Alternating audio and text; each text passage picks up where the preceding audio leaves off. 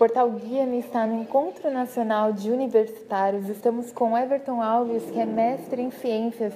Muito obrigada pela sua participação aqui no Guia-me. É, na sua palestra agora, né, que tem todo esse tema, o evento de razão e fé, você afirmou que você foi criado na fé cristã, mas em algum momento na sua caminhada você entrou em conflito com a fé diante das evidências científicas? Realmente é uma pergunta é, que toca na história da minha vida. Eu sou de berço, né, é, cristão, e eu acredito que é muito mais difícil para quem é de berço cristão é, ter sua fé balançada, né, testada, do que alguém que antes era um evolucionista, um ateu, e de repente se tornou cristão, né, porque já vem com aquele, todo aquele gás, né, com aquela energia, com aquele primeiro amor a Cristo, né, para quem já é acostumado a ouvir sempre na, na na, nos cultos. Ah, aconteceu a história de Noé, ah, Adão e Eva foi assim, Deus fez isso em cada dia da semana da criação. A gente parece que isso fica anestesiado. Chega uma hora que anestesia. E quando você vai ter que ter a sua fé realmente contestada lá dentro da academia, da universidade, parece que o turbilhão de sentimentos é muito maior. Que aí você vê, nossa, eu durante todo esse tempo eu não consegui raciocinar ou buscar evidências né, para racionalizar a minha fé. E será que o que eles estão falando agora é verdade e tudo que eu aprendi é mentira? Bom, eu passei por isso, principalmente na fase do mestrado, porque eu fiz mestrado na linha de pesquisa em imunogenética, trabalhando dentro de um laboratório de genética, cheio de geneticistas, com vários ateus e agnósticos ali.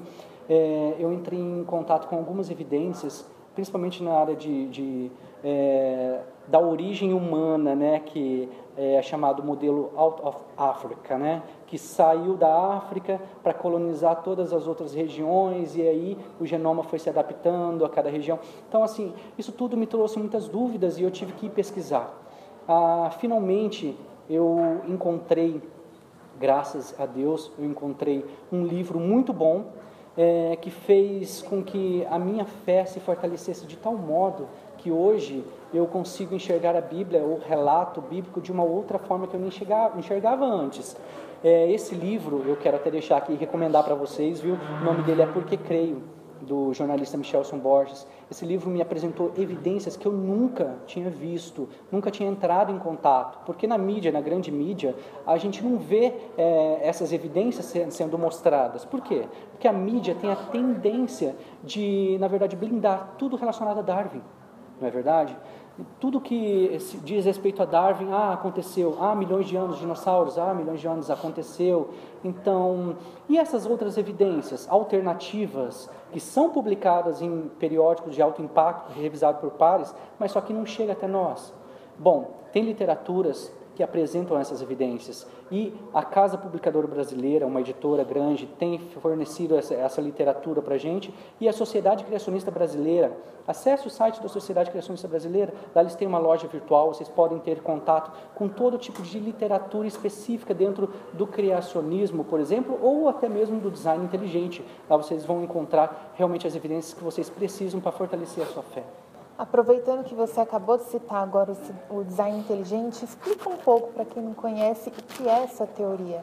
A teoria do design inteligente é muito simples. Na verdade, é uma teoria minimalista, né? Ela não quer explicar tudo ela diz que certas características do universo e da vida são melhor explicadas por meio, talvez, de um design eh, inteligente, né, de um design comum, e não através de uma seleção natural, uma mudança aí sucessiva, lenta e gradual. Bom, a teoria do design inteligente, se você quiser defini-la, ela pode ser definida é, da seguinte, da seguinte maneira. É uma teoria de detecção de design, ponto simples. Ela apenas vai buscar na natureza evidências de design inteligente ou características que remetem a um projetista, né? a características que conseguimos identificar através de vários critérios e métodos estabelecidos dentro da teoria do design inteligente, que aquele objeto, se ele foi é, projetado por um design inteligente ou se ele surgiu espontaneamente ao acaso. Qual é o risco que você enxerga em pessoas que encaram o livro de Gênesis como uma literatura não totalmente real, não totalmente verídica? que se voltam mais para o evolucionismo teísta? Na verdade, eu encaro isso como pessoas que, na verdade, foram doutrinadas ideologicamente dentro das universidades. Infelizmente, somos doutrinados, catequizados desde criança. Tá?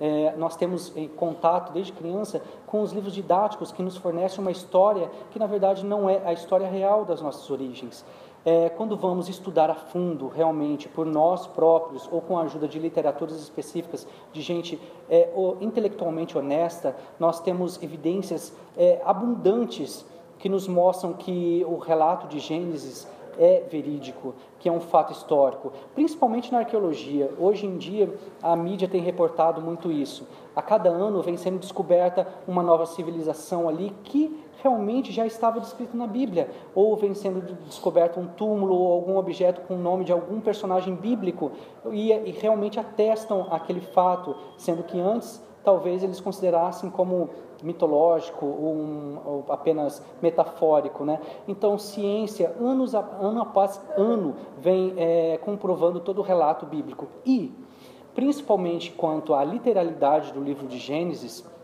se formos tratar de Adão e Eva, se formos tratar de Noé e sua família, ou até mesmo do episódio do dilúvio, por exemplo, podemos ter dentro da própria Bíblia informações que atestam a veracidade desse primeiro livro, livro de Gênesis, o livro das origens, né? que não é metafórico, que não é um livro é, de histórias para boi dormir, não é, realmente é fato. Se o nosso próprio Jesus Cristo atestou a veracidade de Noé e também do episódio do dilúvio, é, é, citando é, que assim como foi nos dias de Noé, será também a vinda do Filho do Homem, se o meu próprio, o meu Jesus, é, acreditava que isso era histórico e real, quem sou eu para duvidar? E não só Jesus, se você ainda tiver dúvida, além de Jesus, há outros apóstolos, Pedro, por exemplo, que atestou também a veracidade do episódio do dilúvio.